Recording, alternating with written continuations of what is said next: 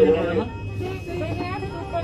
Teniendo relaciones, todo. No, estás vienes solo, con la chica, no, no mal. Vamos a reportar, vamos a reportar ahorita.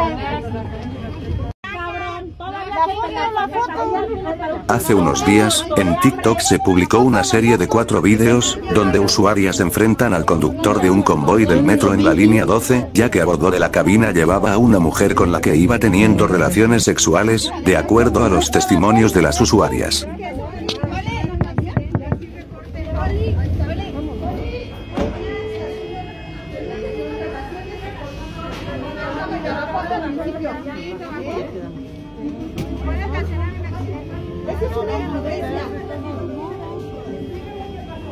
¿Quién jaló la palanca?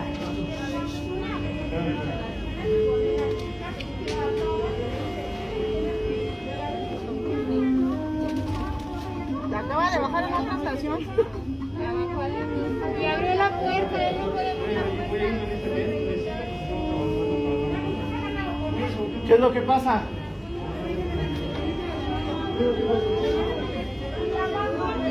La bajó aquí adelante. Fue la de allá, ¿no? Fue la de allá. Ey, ey. Fue la de allá. Sí, ya vienen ellos. Voy a ver si es verdad. Grábalo, grábalo. No manches. Es